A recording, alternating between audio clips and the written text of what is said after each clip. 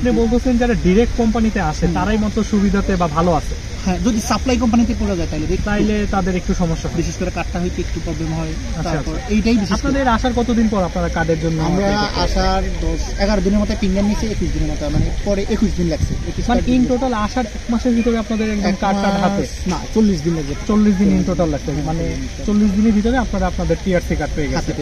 আচ্ছা যারা সাপ্লাই কোম্পানিতে আসতেছে তাদের কি সমস্যাটা হচ্ছে বর্তমানে রোমানিয়াতে? এটা বলেন তো। প্রবলেমটা হচ্ছে কোম্পানির কোনো এখানে গভর্নমেন্ট রুলস অনুযায়ী তাদেরকে যে থাকা খাওয়ার যে ব্যবস্থা সুযোগ সুবিধা এগুলি সব দিতে হবে।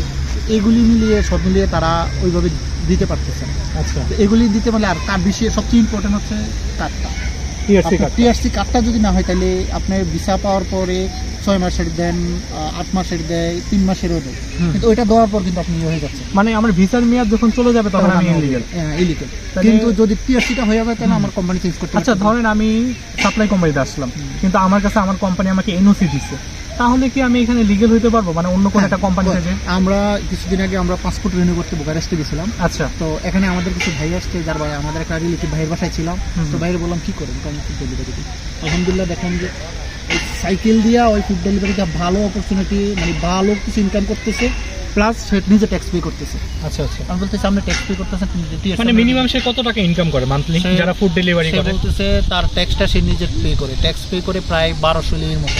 আচ্ছা। তো বারোশো লে ট্যাক্স পে করে আর থাকা নিজের খাওয়া নিজের দিও মিনিমাম বলতেছে তো একটু যদি আমি যদি আট থেকে আট ঘণ্টা প্লাস মানে দশ ঘণ্টা মতো করি তাহলে আমি সাড়ে চার হাজার পাঁচ হাজার লোক ইনকাম করতে মানে ফুড ডেলিভারি করে ট্যাক্স দেওয়ার পর নিজের খাওয়া থাকার পর মানে সাড়ে চার হাজার পাঁচ হাজার করে? করে মানে সময় দিয়ে কাজ করে কিন্তু আসলে ফুড ডেলিভারিটা তো নিজের উপর। আপনি কাজ করলে টাকা পাবেন না হলে না। মানে অনেকে করতে পারে। মানে আমার ধরেন আমি একটা আমি একটা সাপ্লাই কোম্পানিতে আসলাম। তো আমি এনওসি পাইলাম। তাহলে আমি এটা কীভাবে প্রসিডিউরটা করব? আপনি কি জানেন? হ্যাঁ ওই বলছে যে আপনি যেই এনওসিটা পাইলে যে আচ্ছা। তারপরে তারা কীভাবে কি করবে? তো পরে যখন ইমিগ্রেশনে যায় ইমিগ্রেশন যে অফিসার আছে ওনার সাথে বলল উনি বলছে ঠিক আছে। তখন উনি ওনারা একটা পোস্টিং দেখাই দেয়। সেই অনুযায়ী আপনি ইয়ে করতে হবে। ট্যাক্সটা পে করে যাবেন। হ্যাঁ। তখন তারাই আপনার ইয়ে দিবে। মানে তারাই আমাকে ফিঙ্গারের ব্যবস্থা করে ডেট দিয়ে দিবে। আপনি সেই ওই সময় দিয়ে ফিঙ্গার দিবেন। আর ফিঙ্গার দেওয়া আপনি একুশ কার্ড দিব সর্বোচ্চ আমরা সাতাইশ দিনের মধ্যে আপনি ফিঙ্গার পাই মানে আপনি বলতেছেন যারা সাপ্লাই কোম্পানিতে আসছে। তারা যদি এনওসি নিয়ে ফুড ডেলিভারি করে তার নিকটস্থ ইমিগ্রেশন যে কথা বলে তাহলে সে টিআরসি পেমেন্ট তারপর ট্যাক্স পেমেন্ট এগুলো সে করতে পারবে। হ্যাঁ যদি ওই যে- কোম্পানির মাধ্যমে আসে মিনিমাম ইয়াটা নিতে হবে। এনওসিটা নিতে হবে। এনওসিটা মাসুদ নিতে হবে এনওসি ছাড়া সে কখনোই লিগেল হতে পারবে লিগেল হতে পারবে আচ্ছা আর কেউ যদি চায় যে কোম্পানি চেঞ্জ করবে তার টিআরসি আছে এনওসি আছে তাহলে এটা কি তার জন্য সহজ? হ্যাঁ আপনার হ্যাঁ এখানে একটু যেমন আমরা কনস্ট্রাকশনে আছি। আচ্ছা।